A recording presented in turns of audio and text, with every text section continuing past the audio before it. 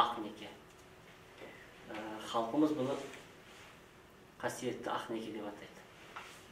Ал енді қазірде қоғамда жастардың арасында мынау азаматтық неке ә, уақытша махаббат бір бірімізді біз танимыз білуіміз керек деп некесіз тұрып жатқан азаматтық неке немесе талақ бергіштердің беретін некеде ә, уақытша неке деген дүниенің барлығы исламда жат.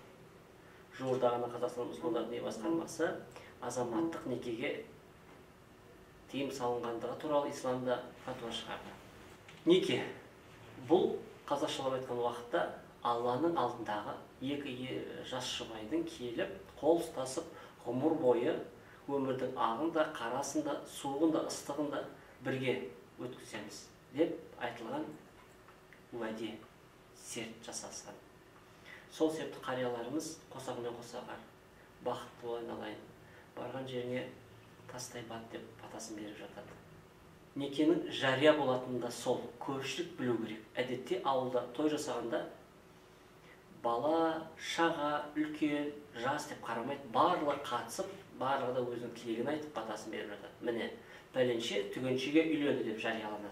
Бұл осы неке. Ал енді уақытша неке келсеңіз исламда бұл жоқ. Рас ә, алғашқы жахилят дәуірі исламның алғашқы исламнан бұрынғы дәуірде бұл болған. Кейіннен пайғамбарымыз келіп дініміз кемелденгеннен кейін соңғы қажылық кезінде де риуаяттар бар тыйым салынады. Бірде хазіреті омардан осы уақытша неке туралы сұрайды. Сонда хазіреті омар ашуланып біз пайғамбардың дәуірінде азғын болмадық. Зинақорлық жасамадық деп жауап береді. Түйін уақытша некенің жоқтығы. Өйткені уақытша неке дегеніміз белгілі бір мерзімге уақытқа ғана некелеседі. Келесі бір риуаятта хазіреті алидің мынандай сөзі бар.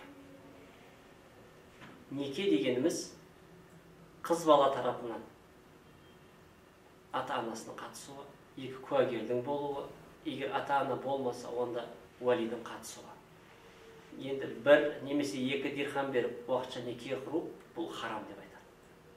Анық айтылған. Сондықтан дінімізде азаматтық некеге де уақытша некеге де